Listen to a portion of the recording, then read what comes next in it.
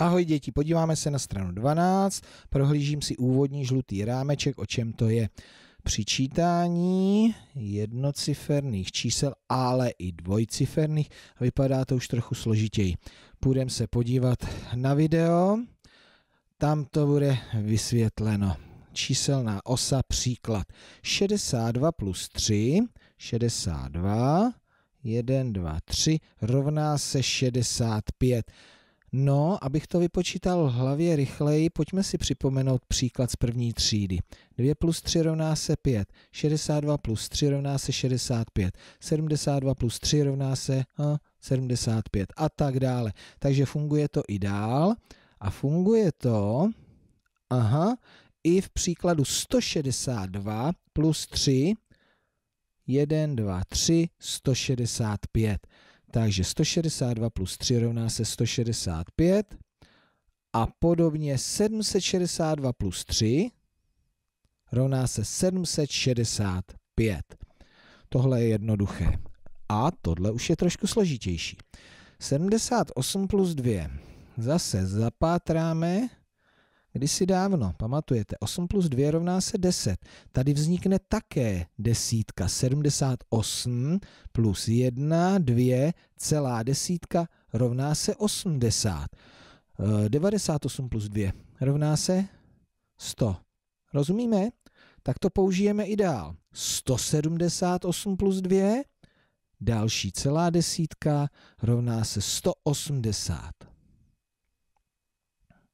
978 plus 2 rovná se 980. A tady už nám to přeskočilo na další typ příkladů. Aha, přechod přes desítku.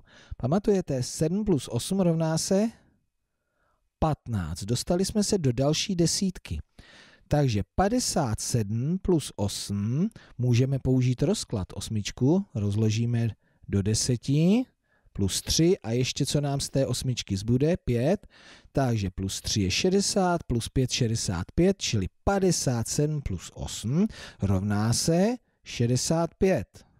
No a jdeme používat dál. 157 plus 8, přecházím desítku 160, rovná se 165. 657 plus 8, stejný rozklad, 665. No a pozor, jsme u dvojciferných čísel, čili tady přičítáme dvojciferné číslo 30.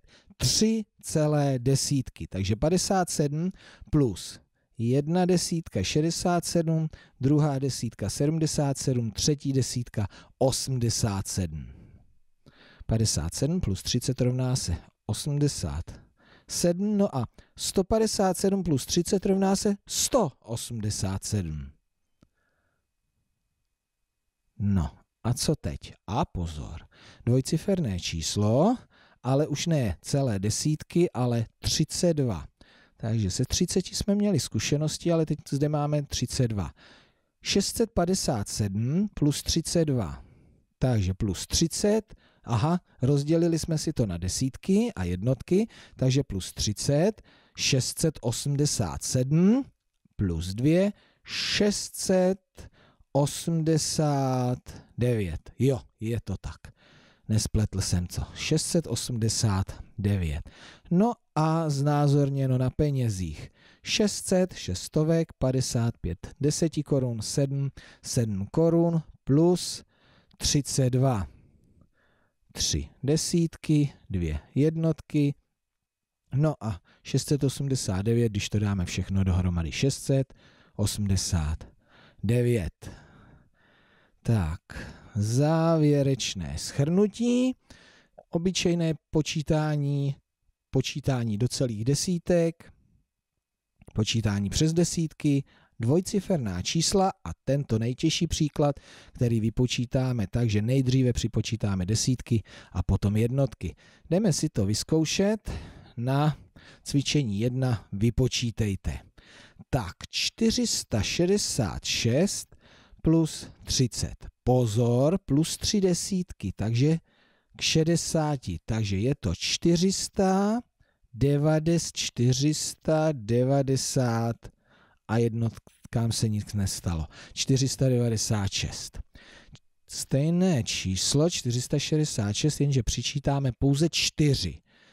6 plus 4, to je 10, takže bude nová desítka. 66 plus 4, 70, čili 466 plus 4 rovná se 470.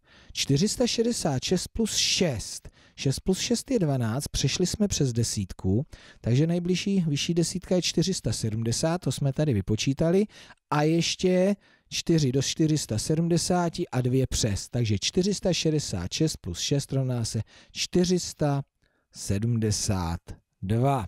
Zkusíme si ještě jeden sloupeček. 568 plus 9. Tak, 8 plus 9 rovná se 17. Přecházíme desítku, takže to bude 577. Juj. 317 plus 52. Takže nejdříve přičtu desítky. 317 plus 50 je 367 plus 2 369. 639 plus 2, 9 plus 2 je 11, takže zase přes desítku, přes čtyřicítku, takže to je 641. Tak a teďka zkusíme třetí sloupeček, ten už nebudu tolik počítat, ale chvíli vždycky počkám. 785 plus 8. Pomozte si. Vypočítejte do 100 a bude to 793. Další. 276 plus 9. Můžete si pomoct. Do 100 a přes. 285. No a ještě jeden těžký příklad. Takže 958 plus 31, takže nejdřív plus 30.